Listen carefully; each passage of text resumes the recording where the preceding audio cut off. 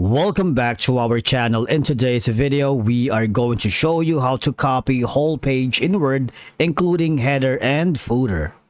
Let's begin. Now, the first thing you need to do is to log in using your credentials. If this is your first time on Microsoft, just click on the create account option and from here, just follow the on-screen instructions and you're good to go. Now, once you are here, copying a whole page in Microsoft Word, including the header and footer, can be useful for a lot of reasons. Because number one, if you have a template or standard formatting for your documents, copying a page with the header and footer intact ensures consistency across multiple pages.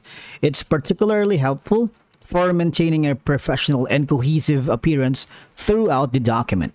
Now, instead of recreating the header and footer manually on each page, copying a page with the header and footer already in place can save time, especially working on lengthy documents or reports. Now, the first thing we need to do is, for example, we don't have the header yet, just click on the insert and click on header here. Okay, now for uh, this page, I'm gonna put uh, this one right here and let's type it in something like this one. Okay so i'm gonna put something like this one. Now for us to be able to all right copy the entire section here including the header just click in and we're good to go.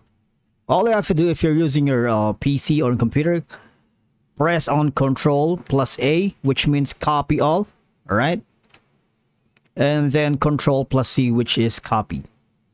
Control a to select all and control c to copy it all. All right and then the next option is we're going to go to the file option. And from here just click on the new button. All right let's do that. Click on it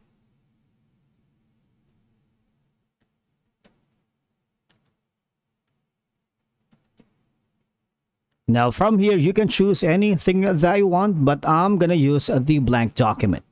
All right, click on it. Click on create.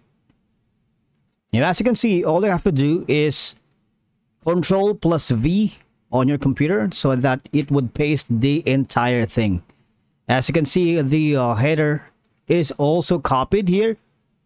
All right make sure that the active mouse is ready in your keyboard so that when you copy the entire thing on the new page the header is also going to be transferred to the new document.